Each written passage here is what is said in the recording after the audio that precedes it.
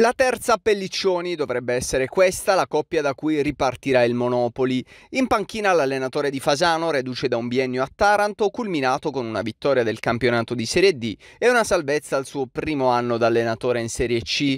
Sulla scrivania invece uno dei direttori sportivi più esperti dell'intero panorama della terza serie nazionale, Alfio Pelliccioni, per lui sarebbe un ritorno all'età di 67 anni, all'obiettivo di confermare il campionato di altissima classifica fatto dalla squadra nella stagione appena conclusa. Sembrava essere Mirko Cudini il preferito della società biancoverde che poi ha virato sull'allenatore del Taranto una volta subodorato il fatto che la terza non avrebbe continuato la sua avventura con gli Ionici.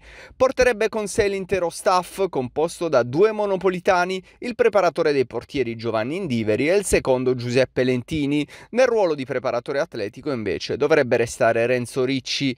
È atteso in queste ore anche l'incontro con Alfio Pelliccioni che però dovrà sistemare prima la sua situazione con il Catanzaro. Una volta definiti i quadri tecnici partirà ufficialmente il calciomercato.